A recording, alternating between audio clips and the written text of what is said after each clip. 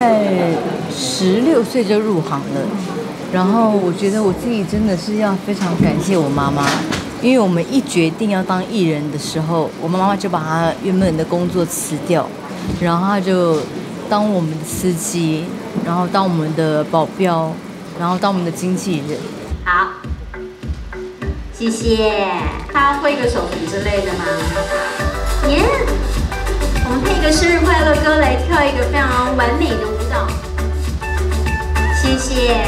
这样看起来哪有四十五岁，对不对？站在 Lily、Ellie 跟 Alice 旁边，就是他们的同学智多学姐。你要去哪里？OK，自己退场哦。你看体力非常好，随时随地都可以看到徐妈妈在旁边。然后那时候我们去录任何的综艺节目，连飞哥都说，只要听到徐妈妈在旁边的笑声，他就觉得这一集是好笑的。所以我妈妈那时候几乎就是我们只要一有通告，她就是陪着我们。所以就是有妈妈在，你就不会经历到其他一些你知道那些那些事情。所以我真的很感谢我妈妈，她那时候真的是为我们的付出非常多。那以后女儿要是真的也是正式踏入这一行，你也会跟徐妈妈一样？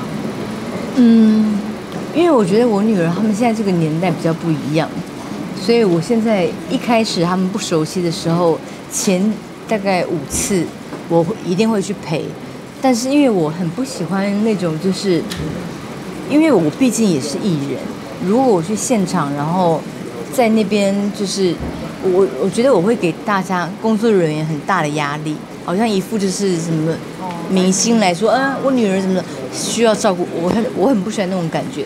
所以当他们已经我陪了几次，他们变得已经熟悉这个工作之后，我就会把他们全权交给，因为我们自己公司有很专业的那些工作人员，就请他们去那个照顾。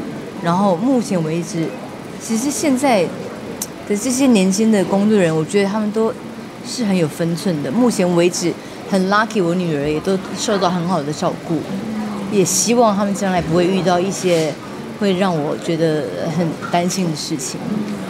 我大女儿，因为她她其实就是读双语班，所以她接下来人生的路，大学的话应该就是势必得不知道不知道去哪一国，反正就是一定不会是在台湾。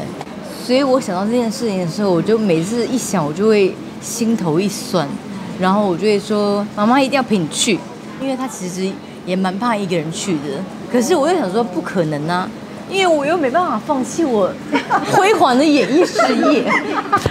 所以如果去两年的话，那我的主持工作怎么办？没想到主持的节目又这么受欢迎。如果观众那时候还喜欢我的话，我顶多就是陪他去个一个月吧，然后对，然后赶快回来再维持我巨星的那个生活。